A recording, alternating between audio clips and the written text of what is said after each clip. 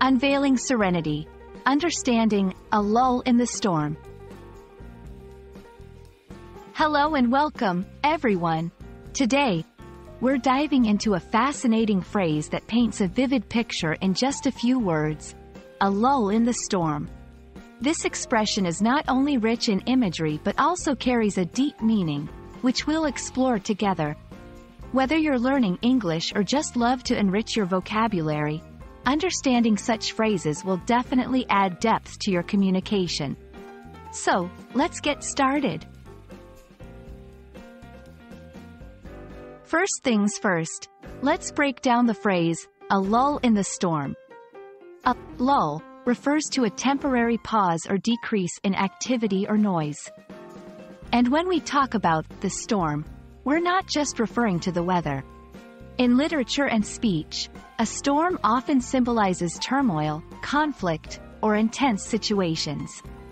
So, putting it together, a lull in the storm describes a brief moment of calm or quiet amidst a period of turmoil or intensity.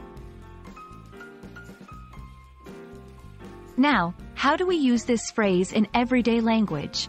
A lull in the storm can be applied both literally and metaphorically. Let's look at some examples. Literal use, after hours of fierce winds and heavy rain, there was a lull in the storm, giving us a chance to safely secure the windows. Metaphorical use, in the midst of the heated debate, his calm response provided a lull in the storm, allowing everyone to collect their thoughts. These examples show how the phrase can vividly depict a temporary pause in chaotic situations, whether they're natural events or human interactions.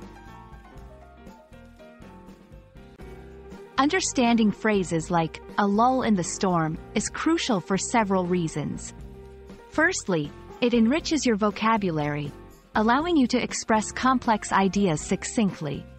Secondly, it enhances comprehension, especially when reading literature or listening to speeches where such expressions are common. Lastly, it improves communication skills, enabling you to convey nuanced emotions and scenarios effectively. I hope this exploration of a lull in the storm has added a new layer to your understanding of the English language. Remember, Every phrase and idiom you learn opens up new avenues for expression and comprehension. So, keep curious, and let the calm understanding of language be your guide through the storms of learning. Thank you for watching, and I look forward to our next linguistic adventure together.